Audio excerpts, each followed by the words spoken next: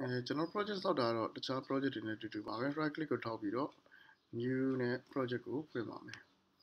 အဲ project wizard ကမှကျွန်တော်တို့ Java FX ဆိုပြီးတော့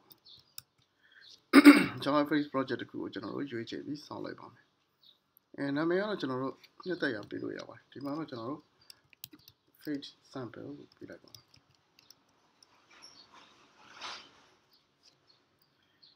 အဲ Eclipse ကိုသုံးပြီးတော့ကျွန်တော်တို့ JavaFX project ကိုစောက်တဲ့အခါမှာသူ့စီမှာဒီစောက်ပေးထားတဲ့ class တွေနောက်ပြီး CSS တွေပါလာပါတယ်ဒါပေမဲ့ကျွန်တော်တို့တွေအဲ့ဒီကောင်လေးကိုမသုံးပါဘူး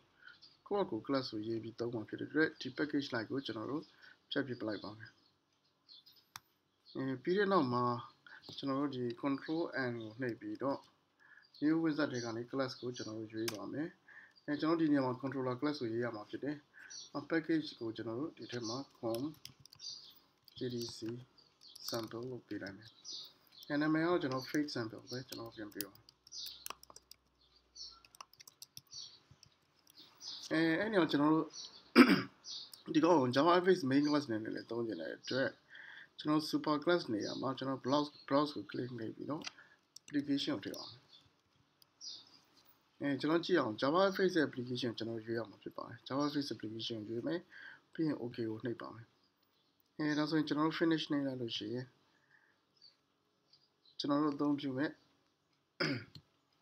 ဒီ fake sample controller class ကိုရလာပါမယ်ကျွန်တော်ဒီထဲမှာသုံးမဲ့ component ကျွန်တော်စဉ်းစားကြည့်အောင်ပထမဆုံး start and stop border နှစ်ခုကိုကျွန်တော်တို့သုံးပြုခြင်းပါတယ် အဲဒီကျွန်တော်တို့အဲ့ဒီ border option တစ်ခုကျွန်တော်ဒီမှာရေးပါမယ်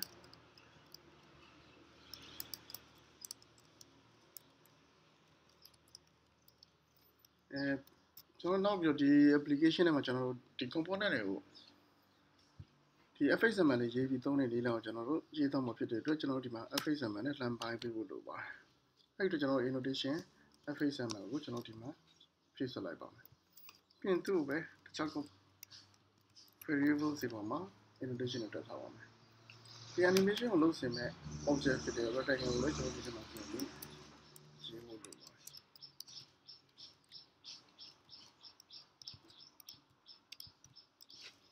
တယ်သူ့မှာလည်း fxml ကိုတတ်ထားဖို့လိုအပ်ပါတယ်ဟုတ်ပြီကျွန်တော်တို့ object တွေရေးပြီးပါပြီဆိုလို့ရှိရင်ကျွန်တော်တို့လေ fxml နဲ့ကျွန်တော်တို့ဒီ view အတွက်ကို design ဆွဲဖို့လိုအပ်ပါတယ် ဒီ package ပုံမှာကျွန်တော် click ကိုထောက်မယ်ပြီးလို့ရှိရင် control n ကိုနှိပ်ပြီးတော့ fxml ကိုကျွန်တော် new fxml document ကိုကျွန်တော်တို့ဖွင့်ပါမယ်အဲနာမည်ကိုကျွန်တော် class နာမည် controller class နာမည်ကျွန်တော်ပေးထားဖို့လိုအပ်ပါတယ်အဲပြီးတော့ကျွန်တော်ဒီနေရာမှာ finish ကိုနှိပ်လိုက်ပါမယ်အဲကျွန်တော်ဒီနေရာ vvox vvox လေးရောက်နေတဲ့ vvox ကိုသုံးထားပြီမဲ့မချင်လို့ရှိရင်ကျွန်တော် editor နှိပ်လှမ်းပြီးတော့ပြန်ပြင်လို့ရပါတယ် အဲကျွန်တော်ဒီ vvox ကိုကျွန်တော်တို့ပြန်ပြီးတော့သုံးပြမဲ့အတိုင်းဖြစ်အောင်ကျွန်တော်ပြန်ပြင်ဖို့လိုအပ်ပါတယ်ပထမဆုံး3ညလောက် size ကိုကျွန်တော်တို့ဆွဲပြီးတော့ drag and drop နဲ့ဆွဲဆက်ပါမယ်ပြီးရင်သူတို့ကျွန်တော် rectangle တစ်ခုကျွန်တော်ထည့်ဖို့လိုပါတယ် rectangle ဟုတ်ပြီ rectangle ကဒီမှာကြည့်မယ်ဆိုလို့ရှိရင်ကျွန်တော်တို့ဒီထိတ်ဆုံးဘယ်ဘက်တောင်ထိတ်ဆုံးနေရာမှာသူကတ်နေတာတွေ့ရပါမယ်အဲဒါပေမဲ့ကျွန်တော်လေးတက်တက်ကိုကျွန်တော်လို့နေရာကိုခြာထားခြင်းတဲ့အတွက် freebox ရှိတဲ့ rectangle ရှိတဲ့သူ့ရဲ့ container ကိုကျွန်တော် alignment ကိုတော့ချိန်ဖို့လိုအပ်ပါတယ်သူ့ရဲ့ alignment ကကျွန်တော်ကြည့်မယ်ဆိုရင် top left ဖြစ်နေပါတယ်သူ့ကျွန်တော်တို့ center ကိုအဖြစ်ကျွန်တော်ပြင်ပြင်လိုက်မယ်ဆိုရင်ဒီ rectangle center ကိုရောက်လာပါလိမ့်မယ်အဲပြီးလို့ရှိရင်ကျွန်တော် button လေးတွေထည့်ဖို့လိုအပ်တယ်ဗျ button လေးတွေက တစ်ခုနဲ့တစ်ခုအောက်မှာဘေးချင်းစီပြီးထည့်ခြင်းတဲ့အတွက်ကျွန်တော်တို့ hbox ကိုသုံးပါမယ်အဲ rectangle အောက်မှာ hbox ကိုသတ်ထည့်လိုက်ပါတယ်အဲဒါဆိုလို့ရှိရင်ကျွန်တော်ကြည့်မယ်ဆို rectangle အပေါ်မှာ hbox အောက်မှာရှိနေပါတယ်ဟွန်းအဲဒီ hbox ရဲ့ဒီ alignment ကိုလည်းကျွန်တော်တို့ center ကိုချိန်ထားလိုက်ပါမယ်အဲကျွန်တော်ဒီနေရာမှာ button နှစ်ခုကိုကျွန်တော်ပြန်ထည့်ပါမယ် modern road drag and drop နဲ့ h box ကိုတော့ထည့်ပါမယ်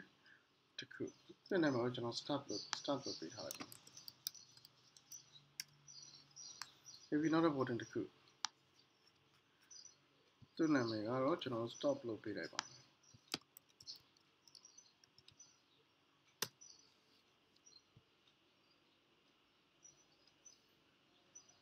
အဲဟုတ်ပြီဗျာကျွန်တော်ဒါဆိုလို့ရှိရင်သူ့ကို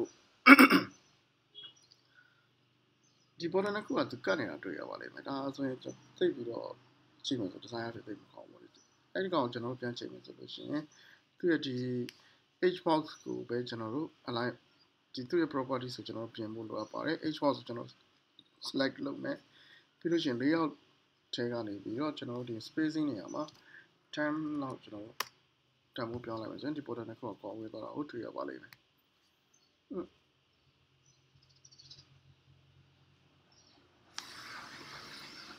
ကျွန်တော်ကွာဝေးချိန်ကြည့်လို့ရှိရင်လိုအပ်တယ်လို့ချိန်ကြည့်လို့ရပါတယ်အဲဒါဆိုလို့ရှိရင်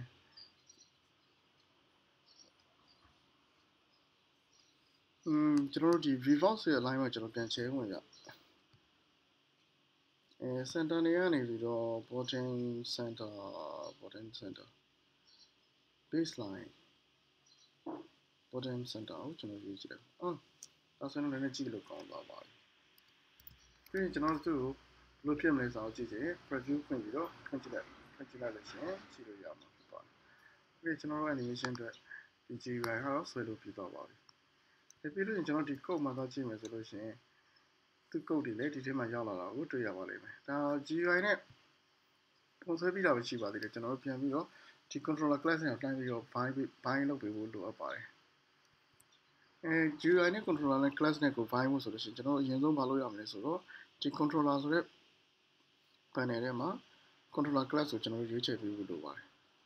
အဲတခုတတိထားရမှာကကျွန်တော်တို့ဒီ fxml file နဲ့ controller class နဲ့က package တစ်ခုထဲမှာရှိနေဖို့လိုအပ်ပါတယ်ပြီးလို့ရှိရင်ကျွန်တော် save လုပ်လိုက်ပါမယ်အဲပြီးလို့ရှိရင်ကျွန်တော်တို့တွေဒီ controller class တွေမှာပါတဲ့ element တွေနဲ့ဒီ view ထဲမှာရှိတဲ့ element တွေကိုကျွန်တော်တို့ပြန်ပြီး bind ပေးဖို့လိုပါတယ်အဲကျွန်တော်တို့ပထမဆုံး rectangle ကို rect နဲ့ bind ပေးဖို့လိုတယ်အဲ့လို bind လုပ်တဲ့နေရာမှာလည်းအဲ့ component class တွေနဲ့သူသုံးပြုနေတဲ့မျိုးစားတွေကတူညီဖို့လိုအပ်ပါတယ် rectangle ဒီမှာလည်း rectangle ဖြစ်တဲ့အတွက် rectangle ဖြစ်တဲ့အတွက်ကျွန်တော် y ပါမယ်အဲ face id နေရာမှာကျွန်တော် rect ဆိုတဲ့နာမည်နဲ့နှမ်းပြီးတော့တွဲပေးလိုက်ပါမယ်အဲပြီးလို့ရှိရင်ကျွန်တော် start ဆိုတဲ့ button နဲ့ဒီ face id က start နဲ့ကျွန်တော်တွဲပေးပါမယ်အဲ stop stop ဆိုတဲ့ button မှာလည်းကျွန်တော် stop နဲ့နှမ်းပြီးပိုင်းပေးလိုက်ပါအဲဒါဆိုရင်ကျွန်တော်တို့ review အတွက်လုပ်လို့ဒါပြီးသွားပါပြီစောစော code တွေပြန်ကြည့်မယ်ဆိုလို့ရှိရင်အဲ FX ID တွေမှာသူတို့တွေဝင်ရောက်လာတာကိုတွေ့ရပါလိမ့်မယ်ဟုတ်ပြီကျွန်တော်ဒီ FX ML ကိုကျွန်တော်ဒီမှာ run ဖို့မလုပ်ဖို့လိုတယ်အဲရင်းဆုံးကျွန်တော်ဒီနေရာမှာ FX ML ကိုကနေကျွန်တော်လုပ်လို့လာလို့ရှိရင်ဘာရမလဲဆိုတော့ အဲကျွန်တော် Vbox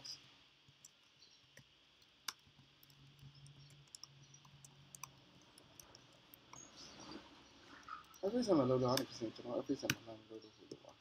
။ method က load ပါ။အဲကျွန်တော် parameter နဲ့ get class နဲ့လည်း get resource ဆိုပြီးတော့ကျွန်တော် source လုံးကရေးထားတယ်ဒီမှာရေးထား FSM မှာ FSM မှာ file ကိုကျွန်တော်လမ်းပြီးတော့ရေးပေးရမှာဖြစ်ပါတယ်။ကျွန်တော် class နဲ့နာမည်အတူတူပေးထားပြီးတော့ဒီရပဲပြီးသွားလိုက်ပါတော့။ဒီ FSM မှာဆိုပြီးတော့ကျွန်တော်ရေးလိုက်ပါအဲကျွန်တော်ဒီမှာ FXML လေးရေးထားတဲ့ FXML ကိုကျွန်တော်ဒီမှာ controller class ကနေလှမ်းပြီးတော့အဲ load လုပ်လိုက်တာဖြစ်ပါတယ်ဒီထဲမှာရေးထားတဲ့ component တွေရဲ့ configuration တိုင်းဒီထဲမှာပါတဲ့ object တွေကိုလှမ်းပြီးတော့သူကလှမ်းပြီး bind လုပ်ပေးမှာဖြစ်တယ် FXML tag နဲ့တွဲထားတဲ့ကောင်တွေကို animation အဲ annotation နဲ့တွဲထားတဲ့ကောင်တွေကို သူလှမ်းပြီးတော့တွဲပေးမှာဖြစ်တယ်ဟုတ်ပြီအဲဒါကျွန်တော်သူ့ကိုလှမ်းပြီးတော့ state 4ကိုလမ်းတင်ပေးဖို့လိုပါတယ် state 4ကိုတင်ဖို့အတွက်ကျွန်တော် same object ကိုစောက်ဖို့လိုအပ်ပါတယ်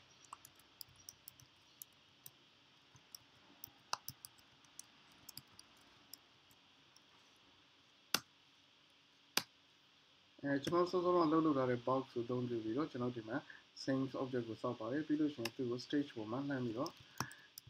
ကျွန်တော်ဒီ argument အနေနဲ့ယူထားတဲ့ stage primary stage ပေါ်မှာ set scene ဆိုပြီးတော့ကျွန်တော် scene ဆိုတော့ထည့်ပေးပါမယ်ပြီးကျွန်တော်တို့ primary stage ကို show လုပ်လိုက်ရပါ။မှဒါကတော့ကျွန်တော်တို့ဒီ view ကိုနှမ်းပြီးတော့ view လုပ်ဖို့အတွက်ပါ။အဲတော့ကျွန်တော် main method ကိုကျွန်တော်တို့ဒီမှာလာပြီးတော့ထည့်ပေးဖို့လိုအပ်ပါတယ်။ main နဲ့မှာကျွန်တော် launch ကို run ပေါ်လိုက်ပါမယ်။ အဲဒါဆိုကျွန်တော်သူ့ကို run ကြည့်လိုက်လို့ရှိရင်စောစောတော့က object လေးကို run ပြင်ရမှာဖြစ်တယ်။ဟုတ်ချက်တော့ထွက်လာ။ clone နေတော့လုံးမမှုသေးပါဘူး။ဟုတ်ပြီကြာဆိုကျွန်တော်တို့ဒီမှာ animation အတွက်ကိုကျွန်တော်တို့ရေးဖို့လိုအပ်ပါတယ်။အဲကျွန်တော်တို့ဒီတခုသတိထားမှာက FXML ကိုသုံးတဲ့အခါမှာ FXML ကိုသုံးတဲ့အခါမှာကျွန်တော်တို့တွေ constructor ကိုသုံးလို့မရပါဘူး။ဘာကြောင့်လဲဆိုတော့ကျွန်တော် container က အသုံးပြုနေတဲ့အတွက် container လမ်းပြီးတော့ဒီ object တွေကိုလမ်းဆောက်ပေးပါတယ်။ကျွန်တော်တို့ဒီ life cycle ကိုကျွန်တော်ထိန်းလို့မရပါဘူး။အဲ့အတွက်ကျွန်တော် constructor တွေမှာယူသုံးပြီးတော့ရေးလို့မရဘူး။ဘယ်ချိန်မှကျွန်တော်တို့ကဆိုဘယ်လိုမျိုးရေးရမလဲ။ဒီ object တွေကိုလမ်းပြီးသုံးနေလို့ရှိရင်ဒီအဲကျွန်တော်တို့ initializable ဆိုရဲ interface ကို implement လုပ်ဖို့လိုအပ်ပါတယ် implement and initializable ဆိုရင်ကျွန်တော်တို့ implement လုပ်လိုက်ပါပြီးလို့ရှိရင်ကျွန်တော်သူ့ထက်မှာမပါသေးတဲ့ method ကို ပြန်ပြီးတော့ဖြည့်လိုက်ပါဟုတ်ပြီဒီ initialize ဆိုတဲ့ method ထဲမှာကျွန်တော်တို့ initialize လုပ်တဲ့ရေးချင်တဲ့ code တွေကိုနိုင်ရေးရမှာဖြစ်တယ်အရင်ဆုံးကျွန်တော်ဘာလုပ်မလဲ animation တစ်ခု rectangle ကိုအထက်ကိုကျွန်တော် animation တစ်ခုကိုကျွန်တော်ရေးပါမယ်အာမဘာ animation fade fade animation ကျွန်တော်ရေးမယ် fade transition animation ရေးပါမယ်နာမည်တော့ fade ပဲပေးလိုက်အောင် အဲ fade transition မှာကျွန်တော်တို့ constructor သုံးခုရှိပါတယ်အဲကျွန်တော်ဒီမှာ duration of node ကိုအားလေးထည့်ပေးလိုက်တဲ့အတွက်ကျွန်တော်ဒီမှာစမ်းပြီးတော့သူတို့ကိုသုံးကြည့်မှာဖြစ်ပါတယ် milliseconds အနေနဲ့1000 milliseconds ဆို1 second အဲဒီလိုကျွန်တော်လုပ်နေပါကျွန်တော် rectangle ကိုကျွန်တော်တို့ပြီးပြီးတော့ဒီ transition fade transition object ကိုကျွန်တော်ဆောက်ပါတယ်ပြီးလို့ကျွန်တော်တို့သူ့ပြန်သတ်မှတ်ပေးရပါဦးမယ် fade auto reverse လုပ်မလားလုပ်ပါမယ်လေအဲပြီးလို့ရှိရင် cycle count cycle count ကိုကျွန်တော်တို့လုပ်နေပေါ့ cycle count ကိုကျွန်တော်တို့ဒီ dot shot လောက်ခိုင်းနေတယ်အတွက်ကျွန်တော်တို့ timeline ရဲ့ timeline ရဲ့ indefinite ကိုကျွန်တော်တို့ရေးလိုက်ပါမယ်ဒါဆိုရင်ကျွန်တော်သူဒီ animation ကိုတော့ချက်လုပ်လုပ်နေမှာဖြစ်တယ်ကျွန်တော်တို့မရမချင်းသူဆိုတာနေမှာဖြစ်တယ် အဲပြီးလို့ရှိရင်ကျွန်တော်တို့ fade ဟိုဒီကျွန်တော် set from value သူ့ရဲ့အစတန်ဖိုးကိုကျွန်တော်သတ်မှတ်ပေးလို့ပါတယ်ပြီးလို့ရှိရင် fade မှာပြန်ပြီးတော့ set to to value ကျွန်တော်သတ်မှတ်ပေးရပါမယ်။အခုတော့ကျွန်တော်တို့အပြောက်ဆိုတော့0.0ပေးလိုက်ပါမယ်။နောက် auto reverse လို့မဲ့သူလည်းတောက်လျှောက် clone နေတဲ့ချိန်ကစပြီးတော့မှဖြစ်စေဖြစ်တယ်ပေါ့။ဟုတ်ပြီ။ နောက်ဆုံးကျွန်တော်တို့ start လုပ်တဲ့ချိန်မှာကျွန်တော်တို့ဘယ်လိုလုပ်မလဲပေါ့။ဆိုရင် start ဒီမှာကျွန်တော် set on action ဆိုပြီးတော့သူ action လုပ်တဲ့ခါကျတော့လုပ်လို့မဲ့ event listener ကိုကျွန်တော်ရေးရတယ်ဒီမှာကျွန်တော် number equation နဲ့ရေးတော့ပါအောင်အဲ start လုပ်လို့ရှိရင်ကျွန်တော်တို့ fade ကို fade play ဆိုပြီးလု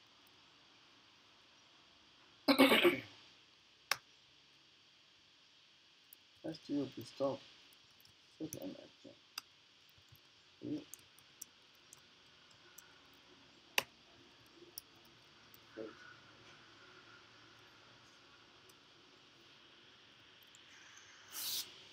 ဟုတ်ပြီအဖေကျွန်တော်ပြန်ပြီးတစ်ခေါက်လောက်ရကြည့်ကြအောင်ဗျဘယ်လိုဖြစ်လဲဟွ